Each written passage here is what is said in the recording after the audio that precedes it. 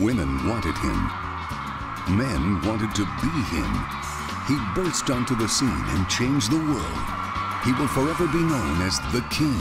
These are all just causes for war. Of England, Ireland, and France. Golden Globe winner Jonathan Rhys Meyers is King Henry VIII as you've never seen him before in the extraordinary new Showtime original series, The Tudors. Henry was the rock star of his time. Ah! Great looking guy, physically fit, really sort of sexy bloke, and power.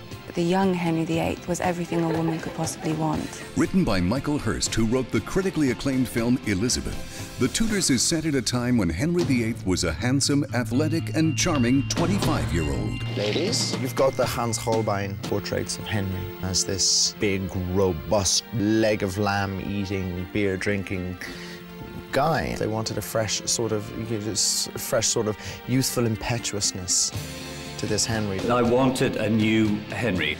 We have a young man who inherits power at a very young age, absolute power. Henry is a young man. He has an appetite for war. If you had absolute God-given power, how would you use it? A 20-something Henry VIII used it as you would expect, complete with a hyper-sex drive, an ultra-competitive nature, and a loyal entourage. There's basically four of us, like a brat pack. You're either in the king's court or you're not. And if you're not, you're poor and smelly. Wherever they are, that's where the party is. You couldn't ask for a better place to be the best friend of a king. You're untouchable. What we were trying to portray, the, the, great times that they have and the riches that they can spend and the women that they can sleep with. While Henry slept with his fair share of ladies in waiting, one in particular waited in the wings and played hard to get, Anne Boleyn. She was pushed by her father, who's a very devious manipulator, into flirting with Henry. But I think that she genuinely fell in love with him. I think Anne really stood out. Fire and intelligence and boldness that in comparison to the English roses that were flopping around court. Henry noticed that. She's intelligent, she can carry a conversation. There's just something about Anne Boleyn that captures his his his spirit, captures his loins. I desire you with all my heart. I think it's the age-old story of you want what you can't have, and she pushed it to the extreme, and of course promised him a son. A son that his wife Queen Catherine could not provide. I cannot give the king a living son. He really wanted to cement his dynasty with a male heir. While he certainly wasn't a faithful husband, she loved him. But really, she absolutely believed that it was her destiny to reign as the Queen of England. She could not see any other way for it to be. But Henry VIII did see it another way. He wanted Anne for a wife and put his trust in his chancellor, Cardinal Thomas Wolsey, to make it happen. I want a divorce, and you will get one for me. While his trusted friend, the idealist Thomas More, looked the other way. Henry admired him.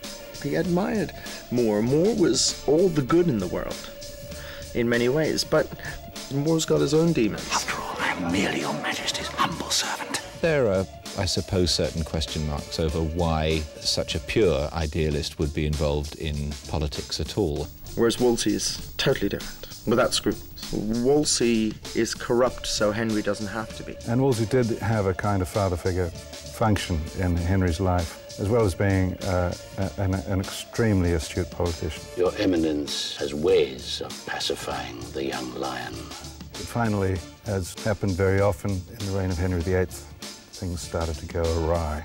And as happens very often, the reign of Henry VIII is misunderstood. People, generally speaking, don't know a lot about him. He was young once, he was in love, he had issues about divorce and money, uh, like everyone else does. Unlike anyone else who played the role, Jonathan Rhys Meyers makes Henry VIII real, identifiable, sympathetic, and above all, human.